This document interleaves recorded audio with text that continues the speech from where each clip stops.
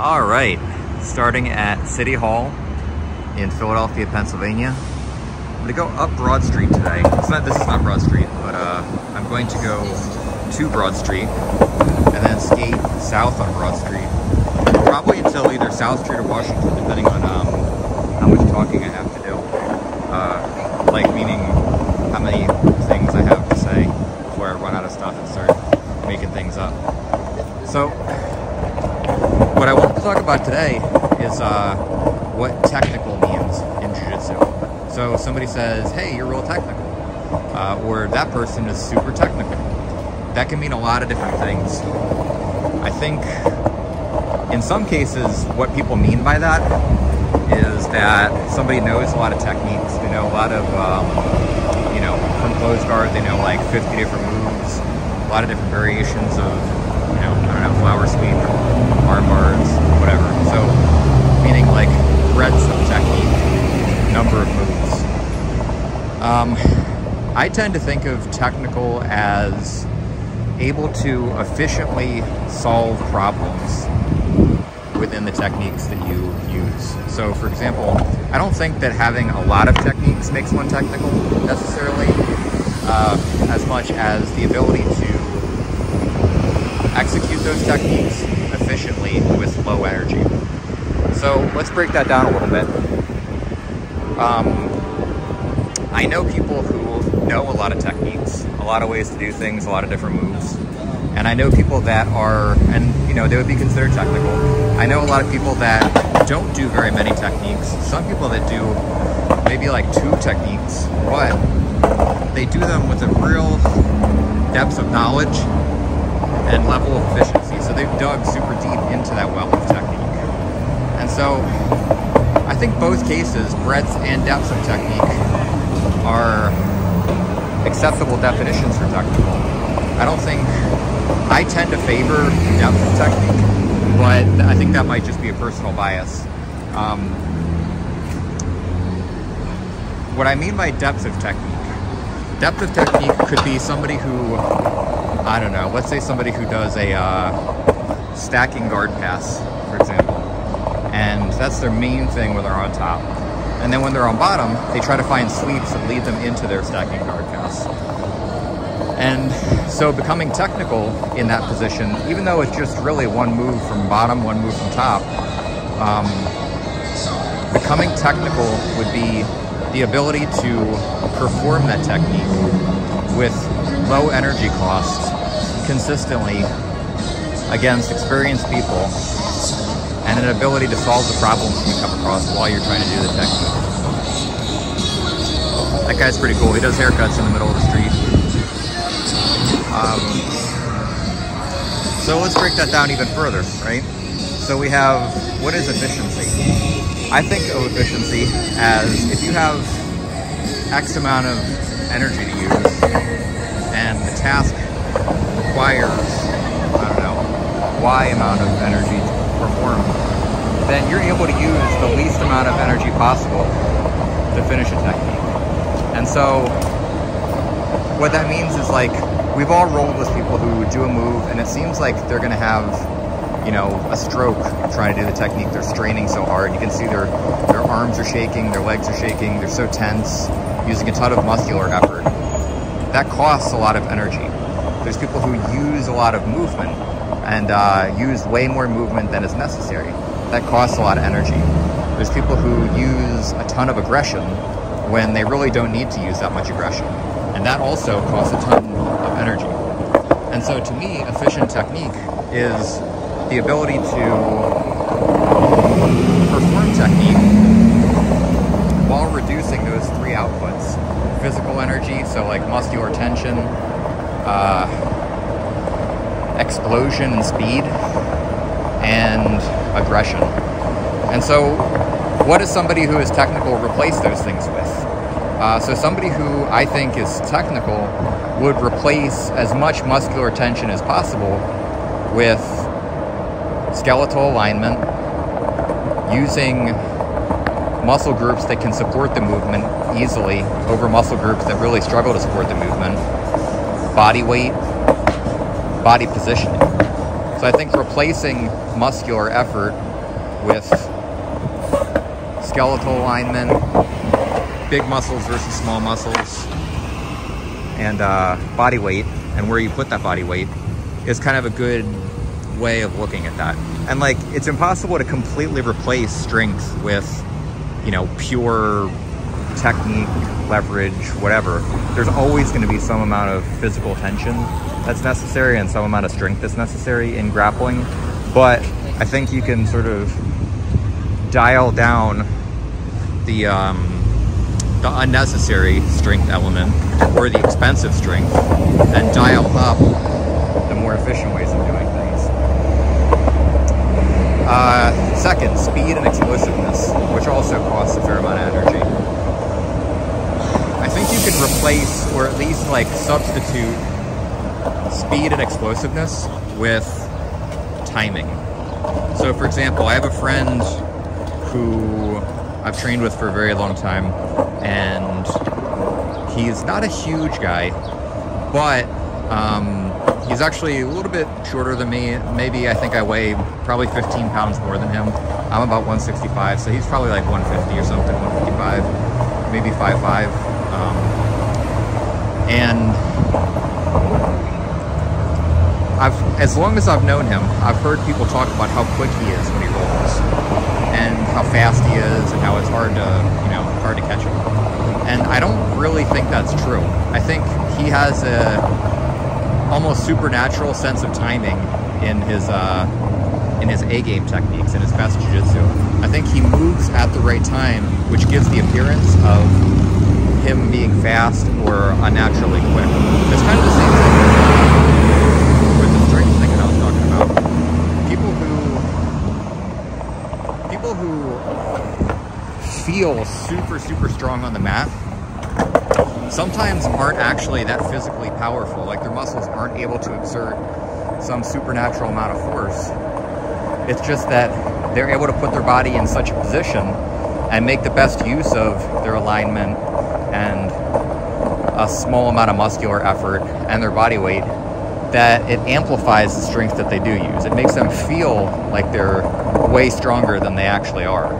Um, and I think it's the same thing with timing. I think if you do a if you do any action, any physical action at the right time, you can almost seem like you're teleporting around your partner. Like let's say you're trying to do a guard pass and like let's say your partner's playing butterfly guard and you do a cartwheel pass or a Toreando pass.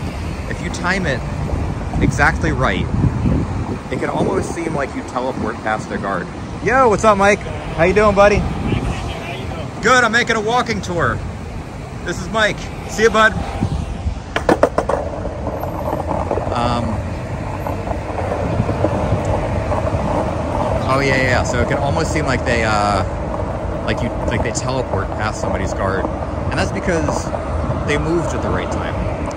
What does it mean to move at the right time? Uh, that sensation of seemingly teleporting into a position or past somebody's guard or to somebody's back or into a guillotine, that comes from it comes from moving when your partner is unprepared to move. And what I mean by that is there's times where you do an action and your partner knows you're going to do the action and they're well prepared to deal with that action. They have a stable base, they have uh, their arms and legs in an athletic position that's ready to act at any moment. And then there's times where you're able to apply misdirection or off balancing, which then reduces their ability to react to your movement, right? And that's physical, physically slowing somebody down. The the bait and switch, the uh, misdirection, is also, and off balancing is also a way of mentally slowing somebody down. Um, acting at a time where they're not mentally agile, and agility meaning the ability to move in any direction with stable base, stable footwork, stable body positioning at a moment's notice. So if you can off balance somebody, or you can create a, uh, a misdirection or a bait and switch, you can give the impression you can you can reduce somebody's ability to clearly see what you're doing and react to it. You can decrease their mental agility by the off balancing or the misdirection action. And so when you try to do an action, you try to attack somebody who is all prepared both mentally and physically for what you're doing, it makes you seem slow and easy to catch, easy to deal with. If you can off balance them or create misdirection, then you slow, you effectively slow somebody down both physically and mentally. And you can make yourself at the same time seem way faster than you actually are. So it's that sense of timing, which is supported by misdirection and off balancing. You're making yourself move at the correct time, and you're making your opponent physically and mentally act and react more slowly than they normally would. And that gives the impression of you being very, very fast, when in reality, you just slowed them down. Uh, if we go back to the strength thing also, with strength, this, you know, this is actually the same concept. If you can make your training partner, opponent, whatever, weaker, then you also feel physically stronger than you actually are. So you can maximize your strength by misaligning your partner's skeleton, putting them in an off-balanced and unstable position. And so it's sort of a similar idea physically. If you can misalign their body or off-balance them and take them out of an agile, athletic state, you can make yourself feel physically stronger than you actually are. And it's the same thing with speed. So, um, just some ideas to think about. Uh, aggression. Aggression is the third costly element of, um, of Jiu-Jitsu. And so when you're aggressive, it kind of insinuates that there is an emotional component to what you're doing. Like maybe anger or I don't know, ferocity. I guess anger kind of covers it. There's like that, you know, heat of anger in your in your movements. And the thing about emotions is that those two are also emotionally costly, and for a lot of people, they're physically costly as well. Expensive. It's an expensive emotion. When you get mad, I, at least when I get mad, I get real tired afterwards. But the upside to aggression and having some sort of like emotional fire to what you're doing is that you get stuff done. It gives you, it gives you motivation. It gives you, uh, it gives force to the actions that you're doing. And so how do you still accomplish that in a more efficient way that doesn't cost you a ton of energy? And I think, I think what you're looking for there is to replace your aggression and that emotional component of anger with uh, assertiveness and almost like a, um, like a predatory sense of calmness when you're when you're doing your jiu-jitsu. It's still it's still sharp and it's still assertive and you're still proactive and you're still hunting your partner and offensively trying to do your actions to them, but it's without that expensive emotional component to it. There's willpower to it, but it's not that wildfire of aggression. It's uh, more like a like a like a laser-like focus, that makes any sense. So so that's the act of taking the emotional component out and replacing it with calm, predatory assertiveness and uh, laser focus. And all of these things take time and experience to develop. And some people develop them naturally over time. But I think if you focus on these elements and actively try to pursue building those skills, it's something that you can cultivate and earn in your jiu-jitsu and your grappling a lot more quickly. And it also, you know, I guess the, another point about um, about the emotional thing, anger, is one of the problems with having an emotional component to your jiu-jitsu is that, you know, uh, anger can get out of control real quick. And uh, I think that's really, you know, really the crux of why it's a problem.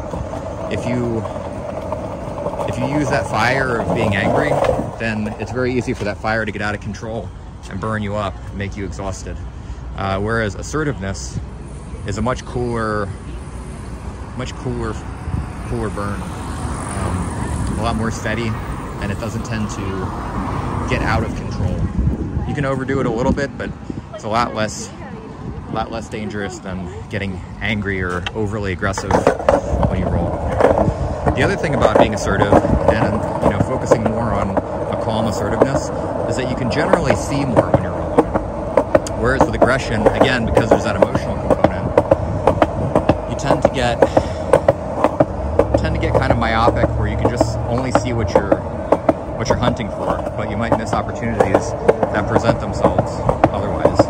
So that's another reason for that. So I guess to kind of recap, uh, rather than, if, if we're talking about technical and what technical means, whether you are technical in a broad array of techniques or you've just dug super deep into, you know, a relatively few bag of techniques and you decided to go with depth instead of breadth on a technical level. I think replacing the energetically costly elements of um, muscular tension, speed and explosiveness, and aggression with the other elements that I mentioned is a, is a better way to make yourself more technical. So what does that look like? How would you how would you do that? Well, if you were trying to use less muscular effort when you're rolling and use more of your skeletal alignment and your body weight and body positioning to get the same job done, then one way you could do that is practice um, decreasing the amount of tension that you use when you're rolling. So for example, this is especially good if you're training with people that you have some sort of physical advantage over. So let's say I'm training with somebody that I'm bigger than, way bigger than, maybe stronger than. One thing that I can do to still get great training, but also improve my sense of um, my sense of technique and body weight distribution and uh, physical alignment is to just force myself to use as little energy as humanly possible when I'm rolling with them. So how can I still get the exact same job done? How can I still sweep, pass their guard, get to the mount position, but using as little muscular tension as possible? and holding myself strictly to that standard when I'm rolling. So for example, if they start to get somewhere on me, instead of turning up the energy that I use because I just can't bear the thought of losing my position, I hold myself honest to that standard of using very low muscular effort when I'm rolling. And that helps me develop my body positioning, my skeletal alignment, and my weight distribution. All of which cost relatively less energy than sheer muscular effort. Uh, you start working your way up the food chain. So people that maybe are the same size as you, uh, but with less experience, right? And so you start looking for more and more challenging rolls that you can apply that same thought process. So can I roll with, you know, maybe a a strong purple belt my size and still hold myself to the same standard. And then once I am able to do that, can I can I hold myself to that same standard doing that against a bigger, stronger, faster purple And then going up the experience, the size, and the strength uh, food chain, so to speak. Um, and again, it's it's just keeping yourself uh, strictly held to that standard when you're doing it. And, you know, avoiding that temptation to like turn the energy up and break your own rules. And uh, there's a certain amount of humility that has to come along with that because when you do that and you're learning how to train like this, you are going to eat some shit. You're going to you're going to have people doing things to you that they normally would not be able to do.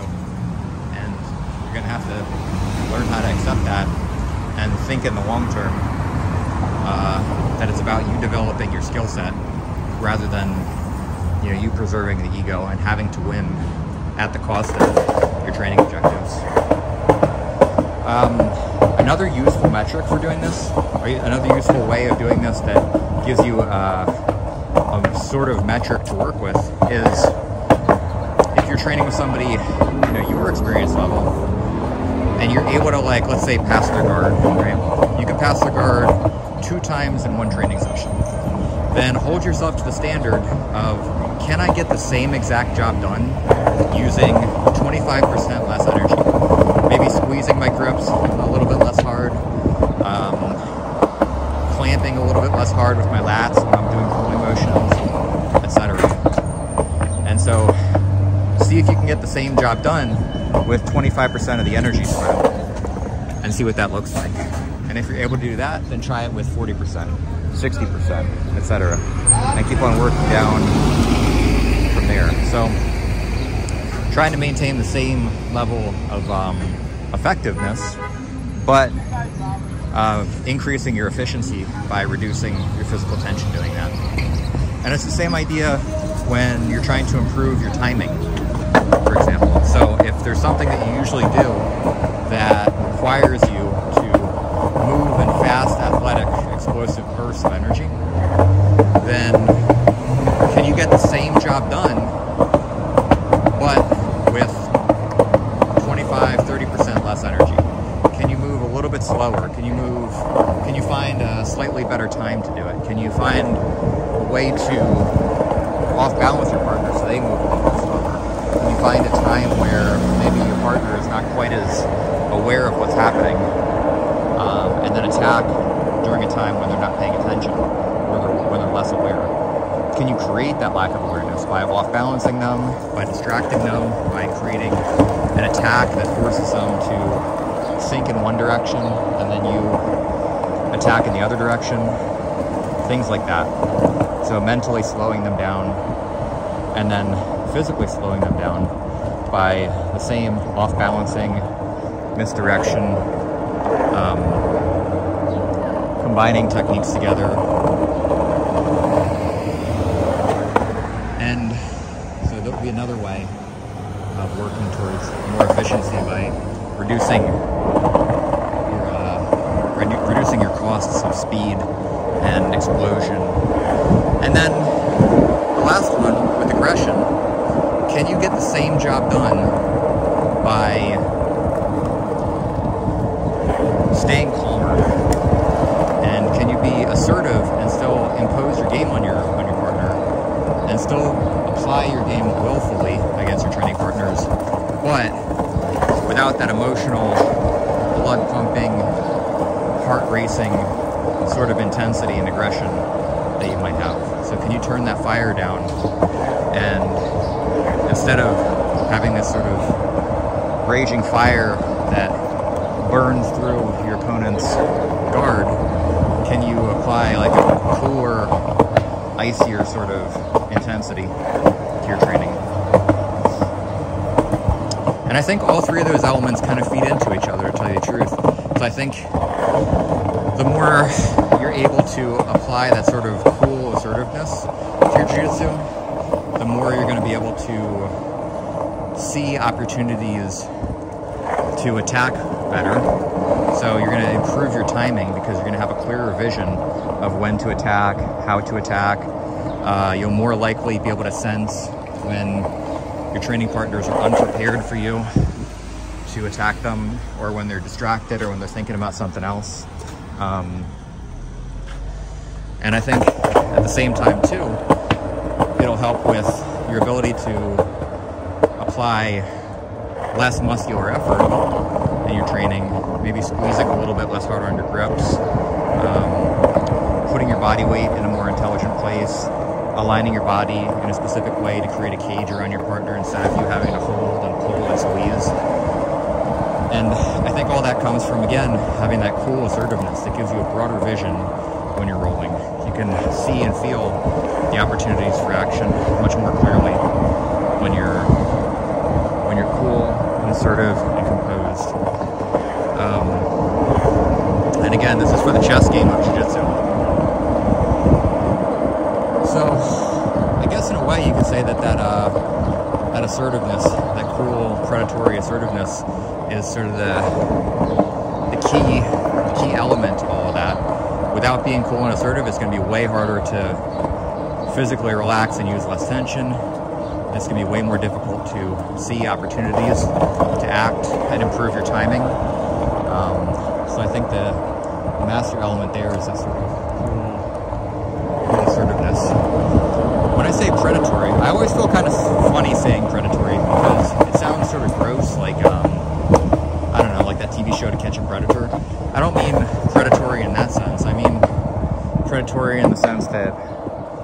like, when you see animals in the animal kingdom, like, I don't know, and not to get too, like, National Geographic about it, but, you know, when you see a jungle cat stalking some sort of, I don't know, like an antelope or something like that, it's not like they're sitting there, like, freaking out, bristling with intensity.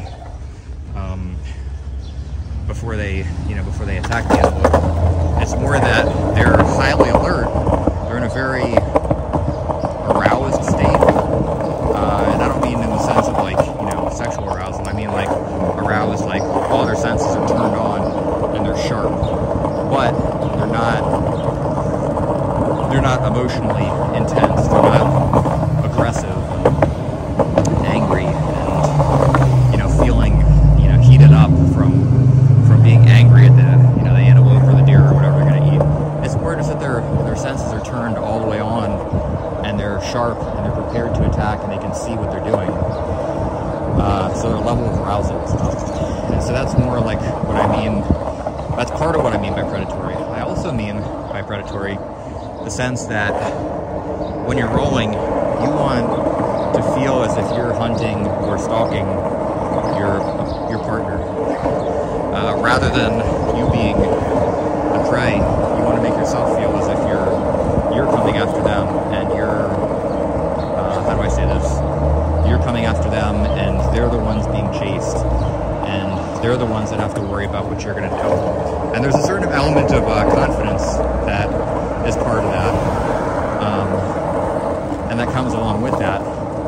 I think that's why people use so much animal imagery in martial arts. I think it's to convey that predatory sense.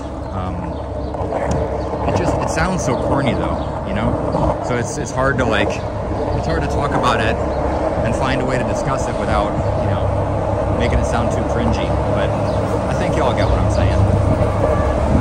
Uh, and once you can once you can create that feeling in yourself, that's where that's where um, well anyway you get what i'm saying.